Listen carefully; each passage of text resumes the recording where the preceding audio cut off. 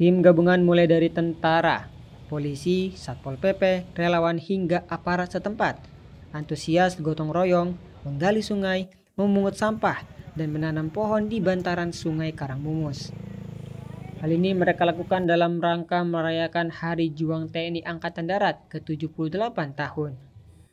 Komandan Kodim 0901 Samarinda, Kolonel Eko Supri Setiawan menyampaikan Hal pokok yang mereka lakukan kali ini yakni penanaman pohon di bantaran sungai.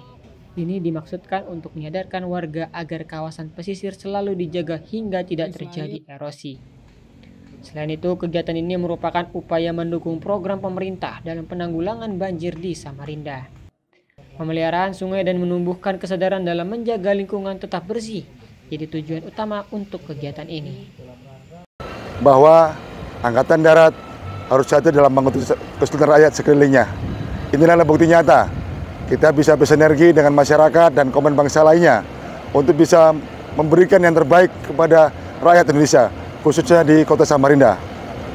Maksud dan tujuan kita ini adalah memberikan kegiatan yang bermanfaat kepada masyarakat, sekaligus memberikan edukasi kepada masyarakat Samarinda. Mari kita jaga kebersihan melalui pembersihan selokan, pembersihan pasar, dan menjaga lingkungan dengan kegiatan penanaman pohon. Bagi relawan, gotong royong bersama TNI merupakan kegiatan yang sangat istimewa. Mereka pun bersemangat mengikuti kegiatan tersebut hingga tuntas. Alhamdulillah kami di Kelurahan Lokbau ini terpilih dalam kegiatan bersama Bapak-Bapak TNI dalam rangka Hari Juang TNI ke-78 hmm?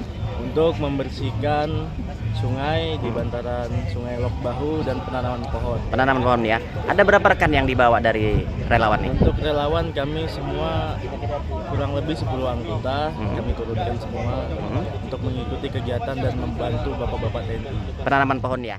Selain di Samarinda, gotong royong bersih lingkungan dan penanaman pohon juga dilakukan serentak seluruh kodim se-Indonesia. Ardi Wirya, Jasmine Jafar, Kompas TV Samarinda, Kalimantan Timur.